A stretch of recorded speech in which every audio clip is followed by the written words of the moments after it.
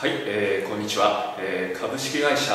マイビジネスパートナーズの藤森です。今日はですね皆さんに、えー、一つのテーマでですねお伝えしたいことがあります。それは、えー、皆さんがスポーツの世界で学んでいること普段体験していること経験していること知識として入れていることはですね。それは全て社会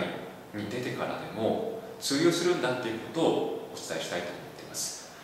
私は、えー、普段ですね自分の会社ではですね、えー、経営マネジメントのサポートと、えー、それから、えー、ビジネスパーソンの方のビジネススキルを向上するためのお手伝いをさせていただいてるんですけども、えー、ですから私が知ってるのはビジネス界の話ですね。ただビジネス界で必要なスキルっていうのはこれはですねスポーツ界でも本当に普遍的に皆さんが学んでいるっていうこととかなりかぶってきます。そこはですね本当に自信を持っていただいて構わないと思います。例えばですねスポーツを皆さんやられている時に判断力であるとか決断力であるとかそれから集中力を発揮する。これはですね当然、えビジネス界に出てからでも、えー、大変重要なものですしそれはですね、えー、今学んでいることが社会に出てからも絶対に生きるものです。で、えー、皆さんこれを見られている皆さんは当然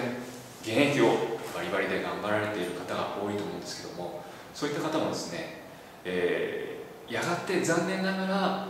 引退する時がやってくると思います。もしくはこれを見られている方の中にはひょっとするともう引退を近づいてそろそろセカンドキャリアについて、えー、考えている方そしてそれに対して不安を抱いている方がいるかもしれません。そういった人たちにですね伝えたいメッセージも同じメッセージですね。今皆さんが学んでいることそしてスポーツ界で学んできたことは社会に出てからも確実に役に立つ。そういったことをお伝えしたいと思います、えー、第2のセカンドキャリアとして例えばですね、えー、起業される方がいるかもしれません、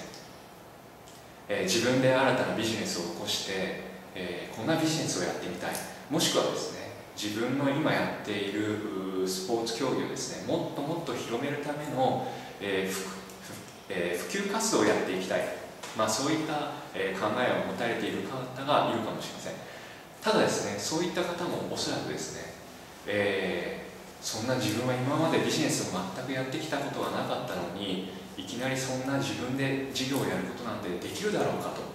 え不安に思われている方がいるかもしれません。それもですね全然私はですね問題ないと思います。皆さんがスポーツ界で、えー、培ってきたですね例えばチームワークですね。チームワークっていうのは当然のことながら、え会社を作ってきた後でも、えー、非常に重要なものになってきます。それをですね生かしてどんどんビジネスをやっていっていただければいいなと思っています。ただですねビジネスをやるからには一つ重要なポイントがあります。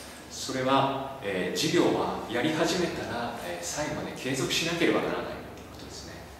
えー、これはですねやっぱりそのスポーツ界で学んできたことが、え生きるんですけどもそれにプラスアルファして、えー学んで、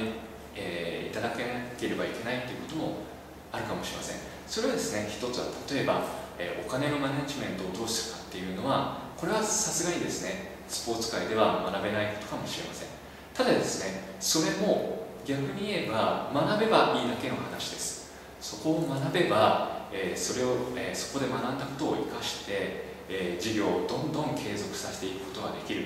そういった面から言っても、えもっともっとですねアスリートの方が、えセカンドキャリアとして自分の思いを持ってですね事業を始めていくっていう選択肢があってもいいんじゃないかなと思っています。でそういった方はですねもしそういった方がえー、出てきた場合にはですね、えー、私もですねどんどんお手伝いしたいなっていう思いを持っています、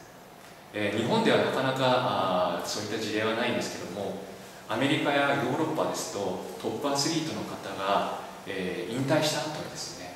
え実業家として、えビジネスの世界で活躍している方ってのはたくさんいらっしゃいます。そしてそのビジネスの世界でえー、成功したあ元アスリートの方がそのビジネスで成功したのを生かして、えー、スポーツ界に降りてきてまたスポーツ界をどんどん活性化していく。活性化させていくためにサポートしていく。そういった活動をされている、えー、元アスリートの方っていうのは世界レベルでたくさんいらっしゃいます。そういった方がですね日本でもどんどんこう生まれてきてほしいなっていう思いを私は持っております、